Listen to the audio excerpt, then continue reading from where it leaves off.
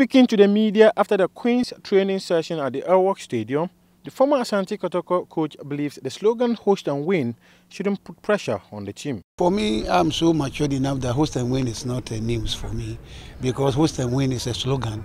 Every country, when they are hosting, say host and win. Every country.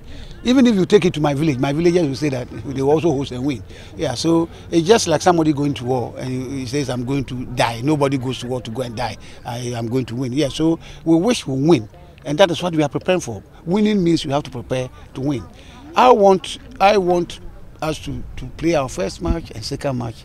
Then I come out with whether, uh, judging from the, the standard that they have brought we have our standard.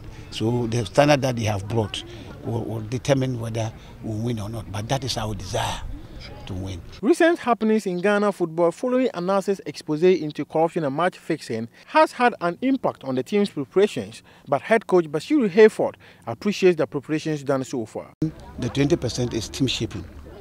Uh, we are now shaping, correcting the mistakes that we played.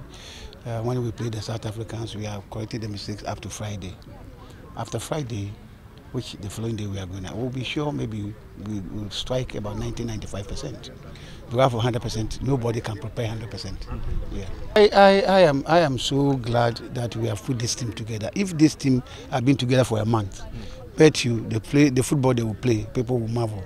Because uh, we, this is the first time that we have put together uh, about 90% professionals.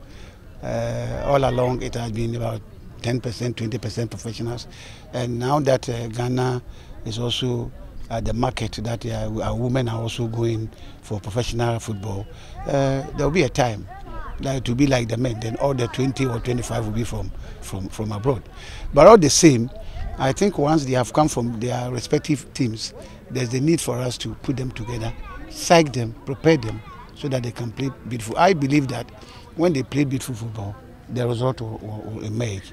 Uh, it's not going for the result by going for good football, so that good football will produce the result. The senior female national team played South Africa last Sunday to wrap up preparations for the 2018 African Women's Cup of Nations. The Black Queens needed a Samira Suleiman header in the 21st minute to give Bashir Hayford's girls a winning tone ahead of their opening game on Saturday against Algeria.